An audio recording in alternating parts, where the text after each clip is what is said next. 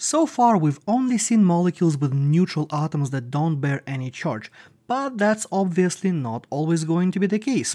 So in this video we'll talk precisely about that, formal charges in organic molecules. So the easiest way to approach the formal charges is through bonding patterns. We know how the bonding pattern looks for uh, neutral core elements. So for instance, in the case of the carbon, we are going to have carbon with four bonds. In the case of nitrogen, we are going to have nitrogen with three bonds and an electron pair. Something like an oxygen will have two bonds and two electron pairs, while halogens will have one bond and three electron pairs, and also let's throw hydrogen here as well for good measure, so hydrogens only have one bond. Well, that is where our charge, I'm going to put charge here, is 0. Now, in the case where the element has a negative charge, then we're going to make one of those bonds into an electron pair. So if my charge is negative 1, then on carbon, we're going to have one of the bonds becoming an electron pair. In the case of nitrogen, we're now going to see two bonds and two electron pairs like that. In the case of oxygen, we'll have one bond, three electron pairs, then, for halogens, we're going to have a freestanding halogen with four electron pairs and no bonds, and same thing we're going to have for the hydrogen, where now it is a hydride anion. Notice the negatively charged halide and hydride anion, they do not have any bonds, so they can only exist as free-floating ions when they are negatively charged. Now, when it comes to the positively charged species, that's where things get a little bit more interesting.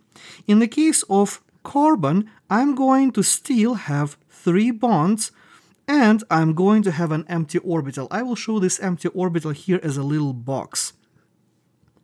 For nitrogen, however, we are now going to see typically four bonds. For oxygen, we're going to have three bonds and an electron pair. Halides, when they're positively charged, going to have two bonds and have two electron pairs like this.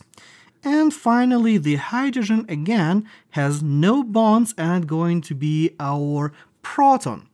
Important thing to keep in mind here, or should I say two important things here. Heteroatoms should always have a full octet. So all the heteroatoms that we have over here, nitrogen, oxygen, and halogens, all of these guys have the full octet. While it is theoretically possible to have heteroatoms with an open shell, aka only have 6 electrons around them, they are too unstable for the realm of organic molecules and we won't normally see those.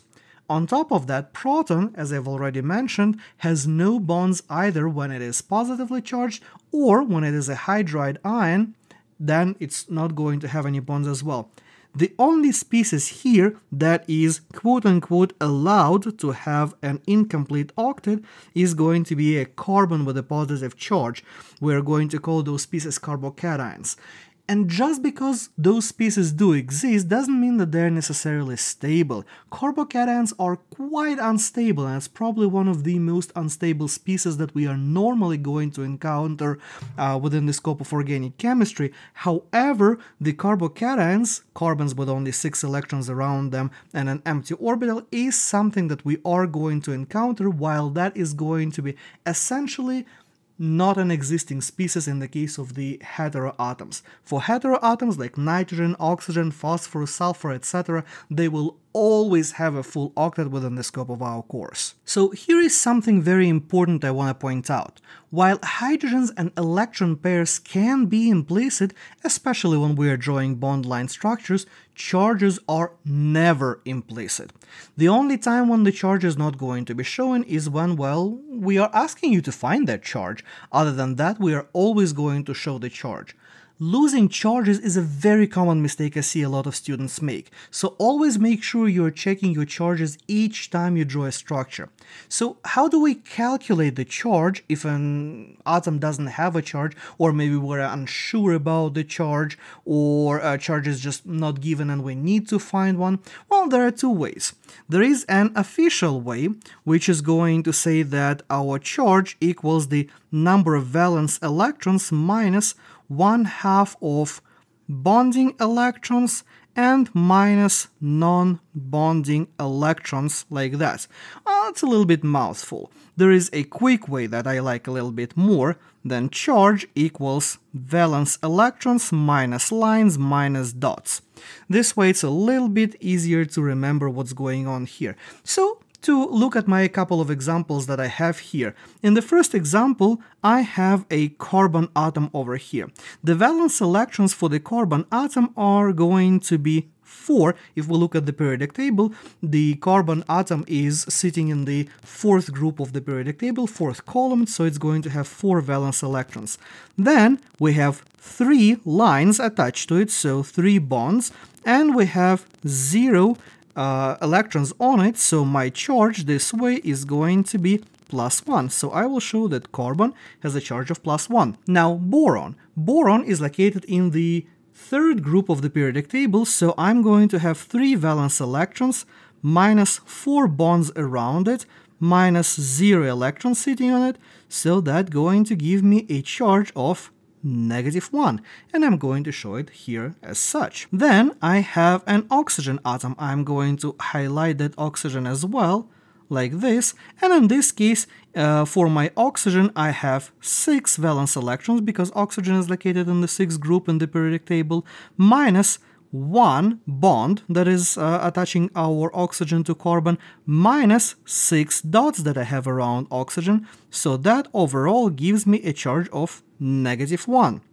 And finally, for my last molecule over here, actually let's look at all of the core atoms and see what type of a charge we're going to have around them. So carbon over here, I'm even going to color code it. So for the carbon, I have 4 valence electrons minus 4 lines connecting it to other atoms minus 0 dots around that.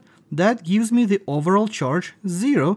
I don't have to show the uh, charge of 0 on carbon, but I'm going to show it for the completeness in this particular case.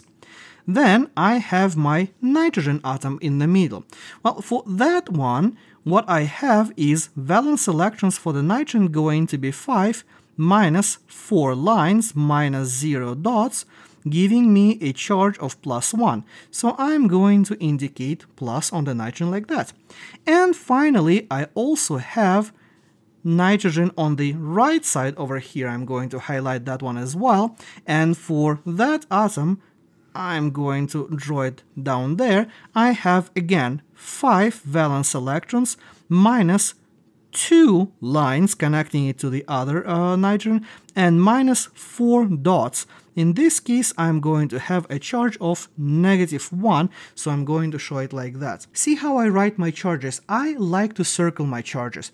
That is uh, absolutely not necessary, but that is one of those kind of quirky little habits that a lot of chemists have, so your instructor is most likely going to be circling their charges as well, and you're going to have uh, many textbooks circling charges too. As I said, that's not necessary, but that's kind of a traditional way we show our charges, just so you don't forget about its existence or it's it's sort of like popping up and uh, making it a little bit more visually explicit that a certain atom has a charge. Probably the trickiest part is dealing with formal charges on bond line structures. Here I have a couple of examples, and in this case, for my top molecule, I have a formal charge over here on this carbon atom.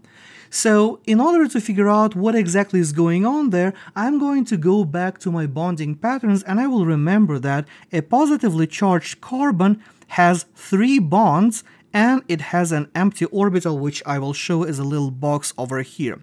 So if I'm looking at my atom that I have highlighted here in this uh, system, I have a carbon connected to a CH3 group on the left, connected to a carbon on the right, then I have a double bond carbon, nitrogen, and two more carbons like that. Adding all the necessary hydrogens to the rest of my molecule gives me three hydrogens on the right, three hydrogens on the bottom, electron pair on the nitrogen while I am at it, one hydrogen here, one hydrogen here. Now, my carbon in question, I will highlight that as well, so it's very clear which one we are talking about. So this carbon has two bonds right now. If it has a positive charge, it means that it needs to have one more bond and a positive charge. And since that bond is coming from uh, our uh, bond line structure, is something that we did not have there to begin with, that bond like that must be a hydrogen, which means that a positively charged carbon in this particular case has two bonds to carbons, has one bond to a hydrogen, and has a positive charge that represents an empty orbital on that carbon. Remember that carbon will always have four things attached to it. Those four things can be either four bonds, four lines in general, or they can be three lines and a plus charge, or it can be three lines and an electron pair, which going to give us a negative charge. So using this principle for my next molecule, I have a carbon with a charge over here, I will highlight it in pink.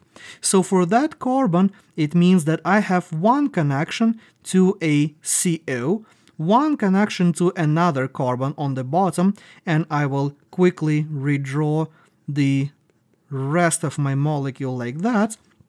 So my carbon with a negative charge needs to have an electron pair and there will be one more implicit hydrogen on it sitting like that and I will add CH2 on the bottom like this to complete my molecule. So in this case my pink carbon has three bonds, two of those to nearby carbons, one bond to the uh, implicit hydrogen, and it has an electron pair, which is going to give us a negative charge. So that's how you deal with the formal charges in organic chemistry. And before we wrap up uh, for today, there is one more thing I want to point out inorganic molecules, while technically possible, having a charge of a greater than plus 1 or minus 1 value is very rare. So if you've calculated your charge on your atom and you've got something like plus 3 or negative 4 or something like that, double check what you are doing there. Organic molecules with large charges on atoms are incredibly unstable. It doesn't really mean that you cannot have a molecule with multiple charges, that's a completely different story. That is quite possible and you are going to see molecules with multiple charges, but molecules with a single large charge like plus 2, plus 3, etc. on a single atom, it's on the other hand is just basically an oddity. Well, as with anything in organic chemistry, practice makes it perfect, so go ahead and check the links in the description below or go to organicchemistrytutor.com to get more practice questions and uh, see how you do. Also, don't forget to leave your questions and comments below, subscribe to the channel if you haven't done so, so you don't miss any future updates, and hit the like button if you found this video helpful or hit dislike if you didn't. And I will see you in the next video. Have a wonderful rest of your day and I'll talk to you soon.